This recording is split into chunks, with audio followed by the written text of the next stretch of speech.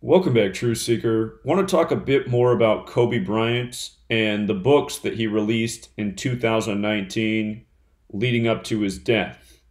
If you've missed the work I've done on Kobe Bryant, we've talked about very specific number patterns with his death and the events leading up to it that are surrounded by the number 157. And the first book Kobe released was called the Wizenard series. It's the first book of a five part series. Came out March 19th, 2019.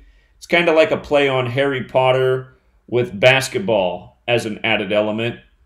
It's about children who attend a secret magical sports camp. And anyhow, this book released 157 days before Kobe's 41st birthday course, he would end up dying on his 157th day of his age 41. And notice Kobe Bryant in Gematria sums to 41 as well as 157. And if you watch the Kobe Bryant Memorial, there was a lot of talk about how great he was as a father, how great he was to children, how his death will inspire more parents to be great parents to their children. And in the wake of his death, he has a book series which is just now taking off. Part two comes out shortly, and again, it'll be a five point part series. So, no doubt, Kobe Bryant and what's now part of his legacy, what a great father he was to Gianna, sponsoring, you know, young Mambas, his uh, organization, Mamba and Mambacita. Realize this all factors in. And again, death always brings awareness and sales and money. And Kobe Bryant was a businessman and a very wealthy one at that. So, this Wizenard series comes out 157 days before Kobe's 41st birthday. And the series was called the Wizenard series, or I should say it is called the Wizenard series, which sums to 251, which is the 54th prime, again, like Kobe Bean Bryant. And remember, this is an important number pattern throughout his career. He won the NBA Finals in the 54th NBA season. And that finals win came exactly 251 days after the death of Wilt Chamberlain, who was from Philly like Kobe and who died in Bel Air, kind of like the Fresh Prince Will Smith from Philly who went to Bel Air. 251 54th prime. Remember the day before Kobe died, LeBron passed Kobe Bryant in points scored on January 25th, 25 slash 1, like 251, the 54th prime. And when LeBron passed Kobe, he scored the 54th points of the game. Years ago in Kobe's career, early in his career, he was accused of rape on July 1st, 2003. That was a span of 54 days from his upcoming birthday and the spa, the name of the spa where he was accused of raping the woman, equals 251. So it's no accident that the Wizenard series is 251, again, the 54th prime. And notice the uh, book series, or the book, came out five months and four days before his death. Just like when he died, it was also five months and four days into his age. And what's interesting is the story is centered on children who play at the Fairwood Community Center. Look at the gematria of Fairwood Community Center in light of Philadelphia, Pennsylvania. It's the exact same in both reduction ciphers, forwards and backwards. Los Angeles, California is also 118, where he died, where he played basketball. Los Angeles is on the 118th meridian. And Fairwood alone is 125. Training camp, that's what the first book in the series is called the Wizenard Series Training Camp. Training Camp's another 125. Numerology's 125. His wife's birthday, Vanessa, is May 5th, the 125th day of the year. So, the Training Camp series coming. And obviously, the term Wizenard is a play on wizard Wizard has gematria of 81 forwards and backwards, like Kobe Bean Bryant is 81 when you run the alphabetic order in reverse. And of course, he's remembered for scoring 81 points in his 666th career game.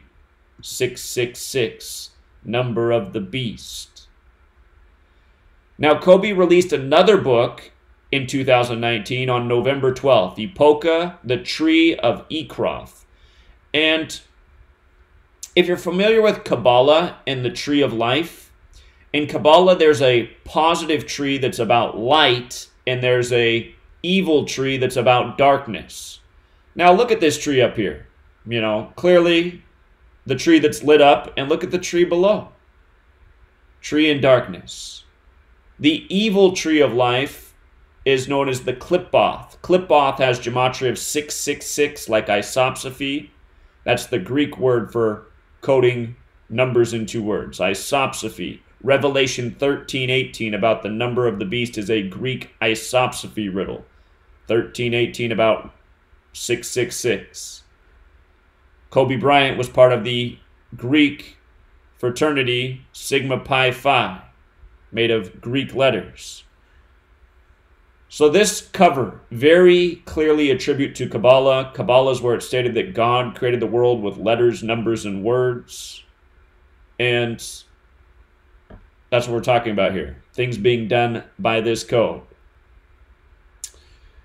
If you read my book, chapter 1 is about why are there 26 letters in the alphabet, how 26 symbolizes God. I even talk about Kobe Bryant in that chapter. Book was written long before Kobe died. Bryant equals 26. He died on the 26th day of the year, January 26th, the anniversary of the great football coach Bear Bryant. He's flying in a helicopter named after a man who died on October 26th. Anyhow, this book right here with the Tree of Life on it and the Qliphoth, if you will, it released November 12th, 2019. And what's interesting about that is from Kobe's birthday to the release of the book was 81 days. Kobe Bean Bryant 81. And from the release of the book to his death on January 26th was 75 days later. Kobe, when you run the alphabetic order in reverse, is 75. What are the odds? The story is about two children, a boy and a girl, the boy's name is Rovi, which has gematria of 26 like Bryant, and the female character's name is Prisha, which has gematria of 33 like Kobe with the alphabetic order. And if you've seen the recent work we did on Kobe and his father and the Boule and his death, as well as his father's birth, as well as his own birth, Again, the Boule, according to Bishop Larry Gaithers, they are the protectors of the Baphomet system. And of course, the Baphomet is male and female. So I find it interesting that this story is about male and female characters. And they share gematria that sync up with Kobe and Bryant.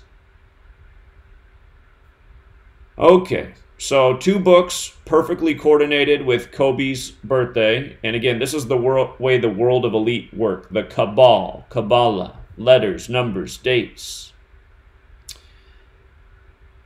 Now, to talk about Kobe Bryant's memorial, it began with Beyonce singing a tribute to Kobe, supposedly one of his favorite songs, and then she sung her hit song Halo.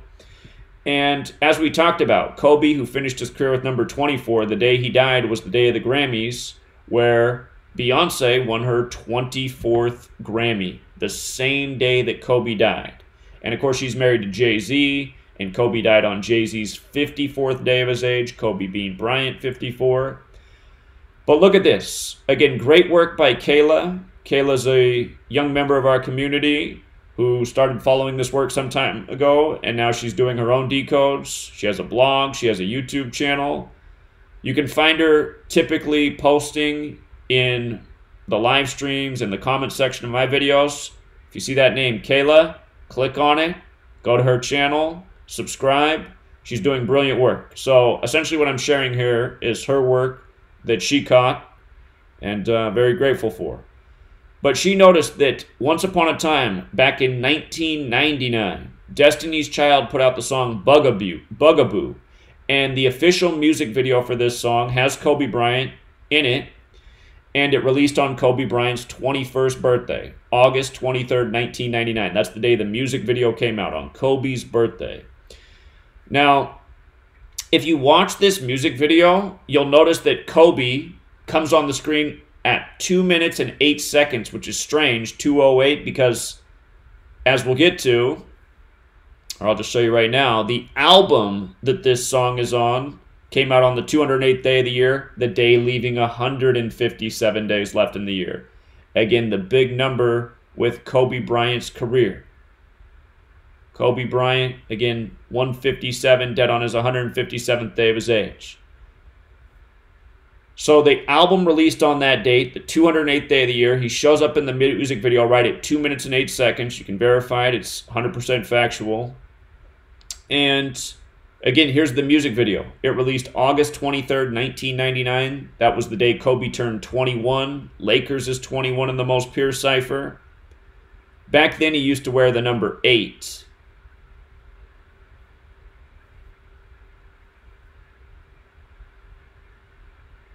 20 now that I think about it, 21 is the eighth Fibonacci number. 34 is the ninth Fibonacci number, 55 is the 10th. So there's something to that. Again, he was number 8 back then before he wore number 24.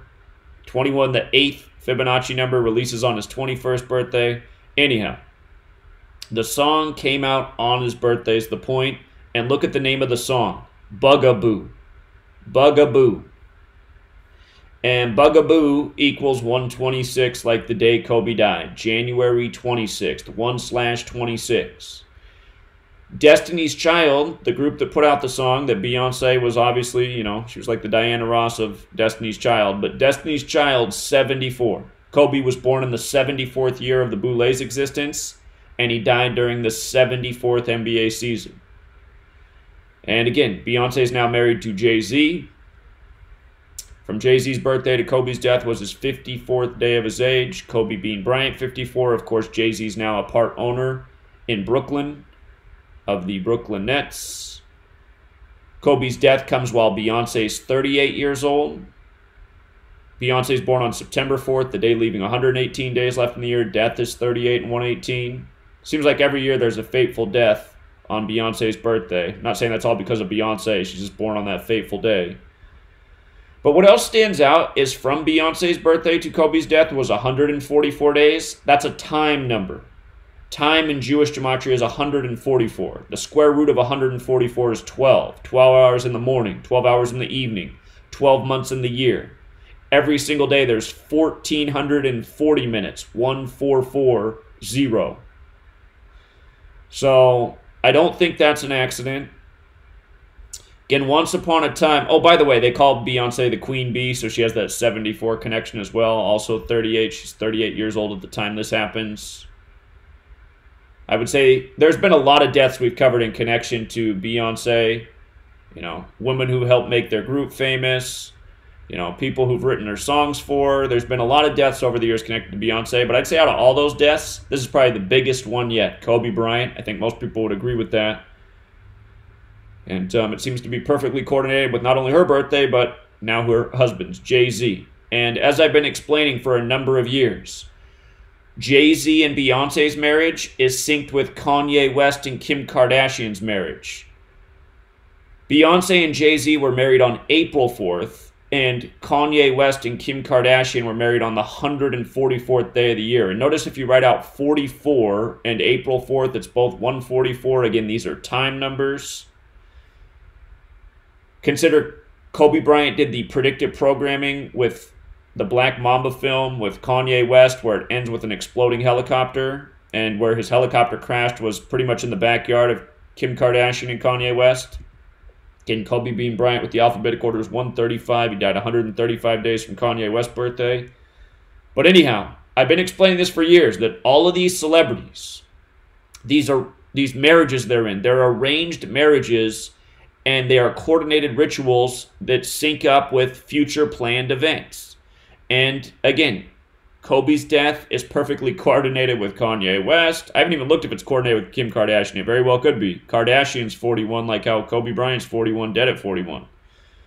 But it's obviously synced with Jay Z, Beyonce. And again, think about who these people are. These are some of the most famous, well known black entertainers in the world, thanks to the media, which is controlled by the cabal, who these people are employed by.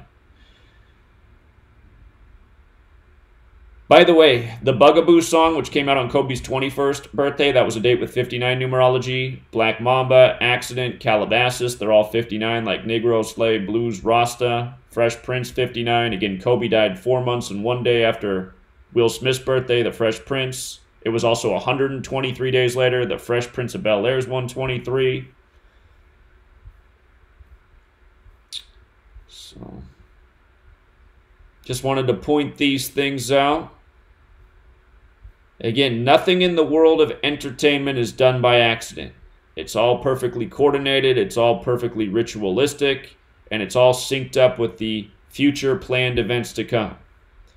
So, you know, once upon a time, you might able to say, well, like, well, look at that. The album where Kobe Bryant gets the music video on his birthday and he's in it, it released on the day, leaving 157 days left in the year, and Kobe Bryant's 157.